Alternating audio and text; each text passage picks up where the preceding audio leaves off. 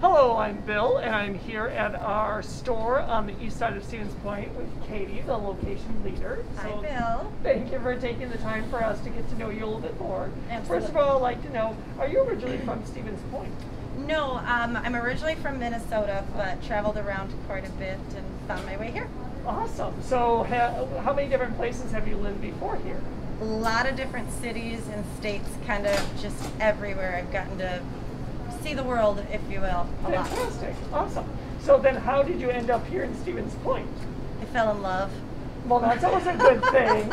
So, Um, my husband has been on the fire department here for over 20 years. So fantastic. we met, um, I was living in Madison. We met down there, and vis- more and more visits up here made me fall in love with him more as well as the city. So I made myself here. Fantastic. And then, how did you come to work at the store?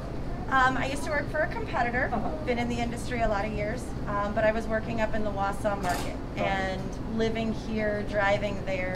I had had enough. I wanted to be closer to home, both for family and for my work. Yeah. And so found this, applied, got the job, and The rest, is is history. because it's your second location. Second location with the company. I used to be on the west side of Point, and now I'm over here on the east And side. you go from the farthest west to the farthest east, which is a good All thing. five miles of it. Exactly, exactly.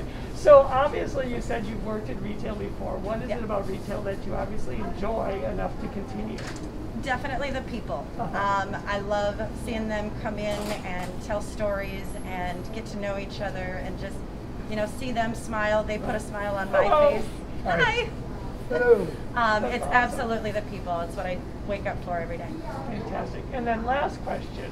What is your favorite holiday? Definitely Christmas. Okay. I am Christmas crazy. Fantastic.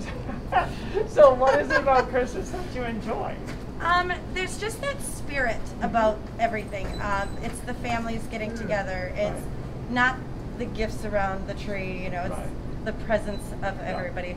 But it's just it's it's a feeling. It's the food. It's the family. It's it's Now, just do you so make special foods? Yes. Um, we do a lot of baking in my family. So as soon as Thanksgiving's over, we start doing cookies and candies, and we probably make about 15 different ones Wow. between Thanksgiving and Christmas. Okay, so what are your favorite cookies?